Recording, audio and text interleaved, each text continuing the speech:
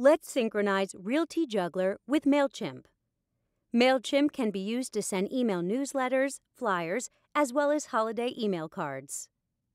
To start using MailChimp, sign into Realty Juggler. Click on the mail icon and then click on the MailChimp newsletter icon. From here, click on the MailChimp.com link here. Log in or sign up for a free account at MailChimp.com. If you send less than 12,000 emails a month to fewer than 2,000 people, their service is free. If your list is larger than that, there is a nominal fee, but it's really quite reasonable. Once you've created your MailChimp account, log in and click on Audience in the upper left corner of the screen, and then click on the Create Audience button at the upper right corner of the screen. Fill in some simple information about your list.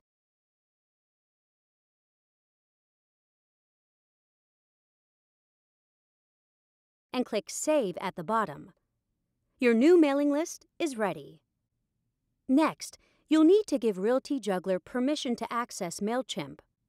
To do that, click on your login name at the bottom corner of the screen. Click on Profile, then on Extras, and then select the API Keys menu item. Scroll down and click on the Create a Key button. Copy the API key. Go to the MailChimp screen in Realty Juggler and click the Edit API Key button and paste that API key into Realty Juggler. Make sure there are no extra spaces at the beginning or at the end and click OK. Select your mailing list from the MailChimp audience name dropdown. As you can see, mine is already selected.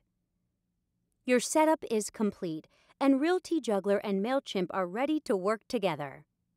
Now, let's add some Realty Juggler contacts to MailChimp. I'll choose my All Contacts Matching Show category menu item, however, I can select a different database if I prefer. I'll click on the Show category drop-down in the upper right corner of the screen and choose the Newsletter category, which represents all the contacts who should receive my newsletter. In some cases, a single record might include more than one email address.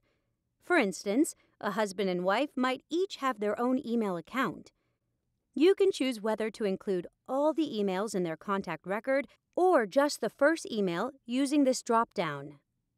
Click the Send to MailChimp button and then click OK to confirm. And you're done! Realty Juggler retrieves the email addresses from each of the contact records in my newsletter category and adds them to my mailing list on MailChimp.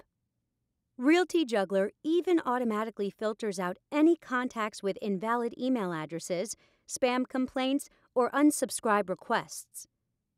Please note, your MailChimp mailing list is additive. I can choose some prospects or even choose all of my prospects and choose the same newsletter list. When I send them to MailChimp, they'll be added to my mailing list, in addition to the contacts I added earlier. Realty Juggler will even check for duplicate email addresses, so if the same person's email address appears in both my contacts database and my prospects database, they will still only receive one copy of my newsletter. Go back to MailChimp, and you can create a newsletter, flyer, or other mailing to send out to your new list. There's plenty of help available on the MailChimp website.